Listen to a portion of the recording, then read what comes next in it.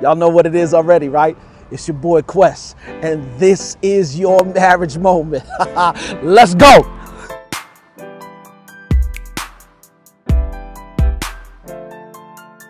What up, y'all? It's your boy Quest, man. Let me let y'all know something. I was watching a video yesterday on YouTube, and I was watching a married couple have a conversation.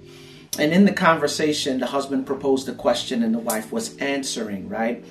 And as I sat there, there were a number of different lessons that I was like learning, and there were a number of different points that I was paying attention to. But one of the things that I was paying attention to is the ability to listen, to process information, to learn, and then to make adjustments, right? And so as I was watching the video, man, um, one of the things that I paid attention to was the fact that they're both answering the questions and both making some valid points, but they were not hearing what each other says. If I had to give today like a I don't know if I had to make today like a, a, a key word for day for today, it would be teachability. And I say teachability because Teachability is possessing the intentional attitude and behavior to keep learning and growing throughout life. I'm gonna say it one more time. Teachability is uh, possessing the intentional attitude, right, and behavior to keep learning and growing through life. And as you know in marriage, the person that you married is not the person that you're married to. You evolve and you change. In my situation, when Faith and I got together, her love language was gifts. When we had kids, oh, that all changed. Her, her love language was acts of service. In other words, can you fill my tank with gas? Can you vacuum a carpet? Can you wash clothes? That put me in a position to be able to learn who she is. And she as well learned who I am. And we continue to adjust through the seasons, right? This is the reason why I say that, right? And when I say through life, marriage is just one portion of life. So of course, eh, of course, when I say life, it's all encompassing, right? Including marriage. I'm just talking within the context of marriage, right? Um, and I say that because no one subject or set of subjects will serve you through the foreseeable future, much less your entire life, right? So you always have to keep learning, have to keep growing. Here's where we fail, right? It's our attitude. Sometimes when our spouse is teaching us how to treat them or how to love them, right? We have a tendency to love them the way that we want to love them.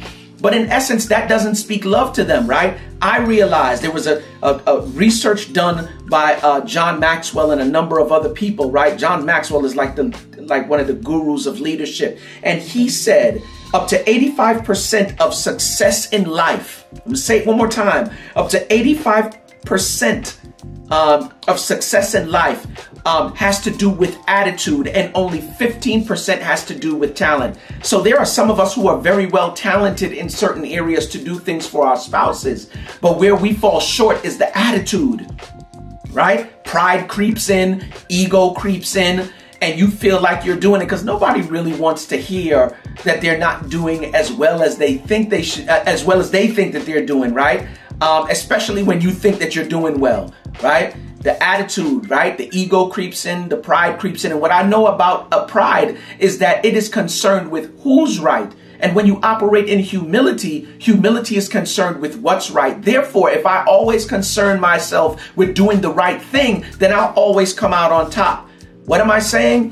Be teachable. Be teachable. Remember what I said. It, it, the intentional attitude and behavior, right, of keeping, learning, and growing in the forefront. That's that's being teachable.